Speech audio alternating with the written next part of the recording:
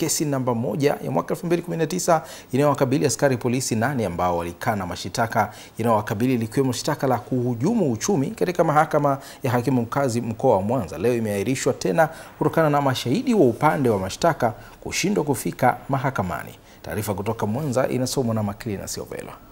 Washtakiwa wote nane wanakabiliwa na makosa matano yakiwemo ya uhujumu uchumi mawili, utakatishaji fedha mawili, pamoja na kupanga kutekeleza uhalifu. Mbele ya hakimu mfawidhi Roda Nkimlanga, wakili wa serikali Robert Kidando akaiomba mahakama hiyo kuhairisha shauri la kesi hiyo hadi Aprili 29 na 30 kutokana na mashahidi watatu upande wa mashtaka kushindwa kufika mahakamani, ombi ambalo halikupingwa na mawakili wanaowatetea washtakiwa hao. Akizungumza nje ya mahakama, wakili upande wa utetezi Deo Mgengeli ametoa ufafanuzi kuhusu kesi hiyo. Counts zinazowakabili washtakiwa waliosalia ni tano.